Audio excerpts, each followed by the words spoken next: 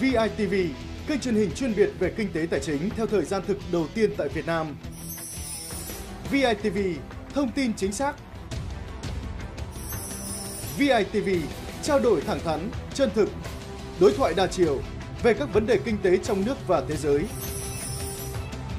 VITV, nội dung sống động, tin tức cập nhật. VITV, mọi lúc, mọi nơi. VITV, khởi nguồn kinh doanh. Sáng ngày 15 tháng 8 tại thành phố Hồ Chí Minh, Ngân hàng Phương Đông OCB và công ty cổ phần di động trực tuyến M-Server đã ký kết hợp tác về dịch vụ chuyển tiền trên điện thoại di động thông minh.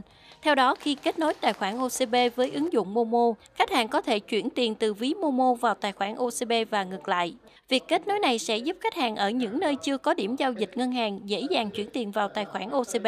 Một tiện lợi khác là khách hàng có thể thanh toán hóa đơn điện, nước, internet, truyền hình cáp, đặt vé xem phim, nạp tiền điện thoại và nhiều dịch vụ khác một cách nhanh chóng tiện lợi. Ứng dụng Momo cũng cho phép rút tiền và nạp tiền tại 3.000 điểm giao dịch trên 38 tỉnh thành trong cả nước. Hiện tại có khoảng 500.000 lượt người tải cài đặt ứng dụng này.